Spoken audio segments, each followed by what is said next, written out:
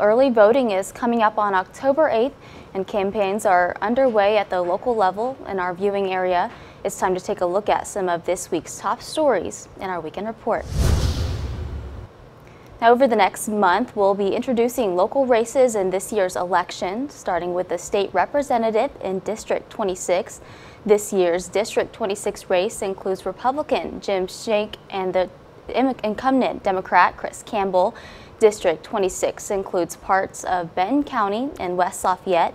Over the last two years, the LEAP district in Lebanon has caused water availability to be at the forefront of Hoosiers' minds.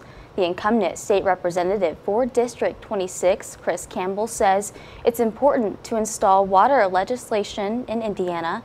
The Republican nominee, Jim Schenk, says he's been against the LEAP project since it was first introduced.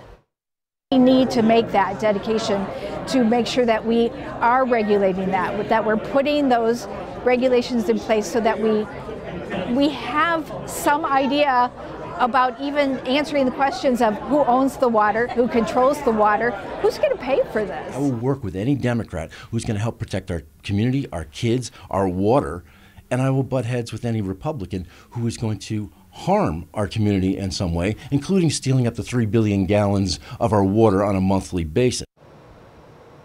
The Indiana Department of Education is gearing up to change diploma requirements for students in the coming years, but this redesign has come with a lot of concerns.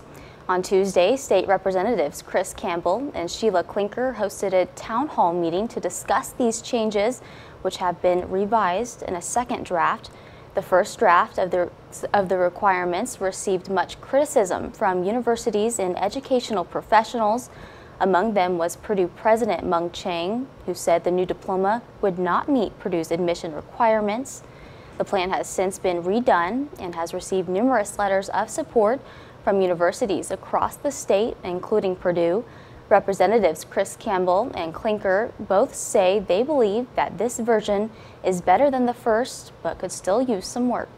I think the second version is much better, but frankly, I think there needs to be a third version. We are going to be hearing lots of the material that includes the changes that are occurring now.